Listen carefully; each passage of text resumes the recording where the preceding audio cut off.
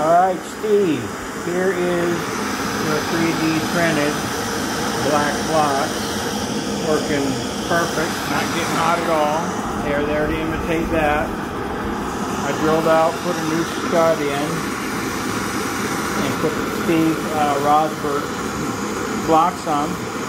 And now I can increase my annealing, or I should say decrease my annealing time in half, which is huge. So let's see how she works. It'll take a couple to get to it. I think she's going to work good. Next go around she's in. Yep. Oh wow.